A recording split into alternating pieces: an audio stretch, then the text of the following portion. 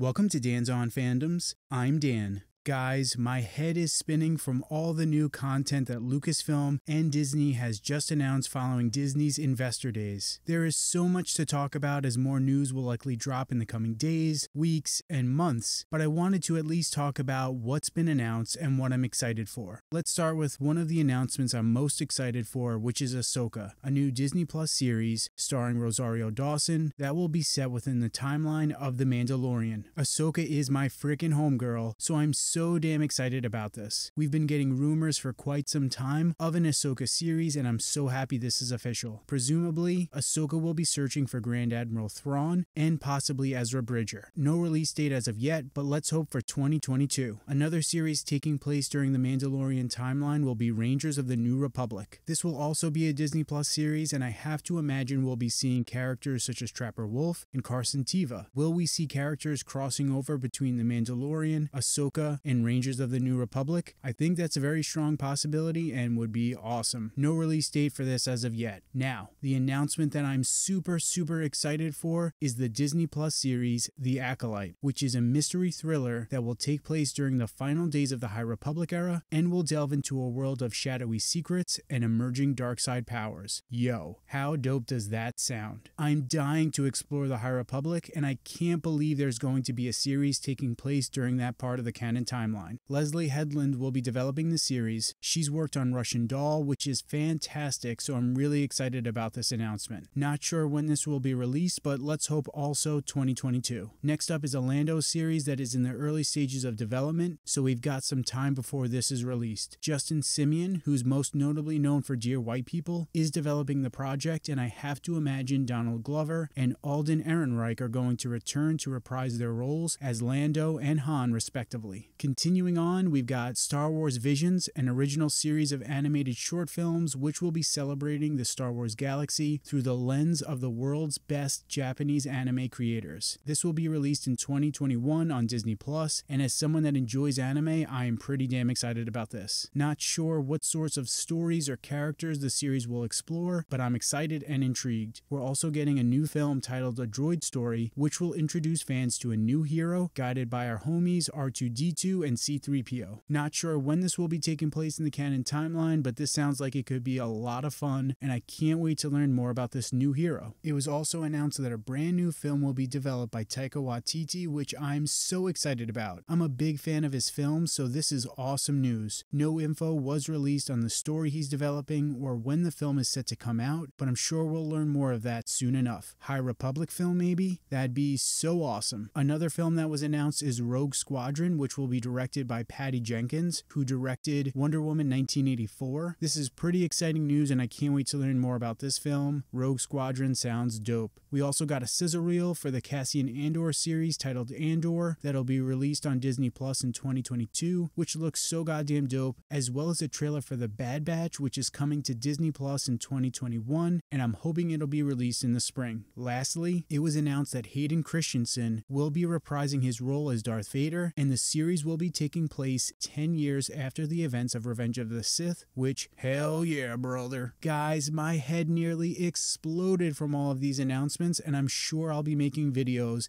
in the coming days and weeks to discuss and dissect these announcements. For now, let's just revel in the fact that this is the greatest time to be alive and be a Star Wars fan. I am so happy, excited, and thankful for all of these new series and films that were announced, and I hope you are as well. But what do you guys think? Is your mind ready to explode from these announcements as much as mine? Let us know down in the comments. If you like this video, please help out the channel by hitting that like button, making sure you subscribe, and as always, stay nerdy.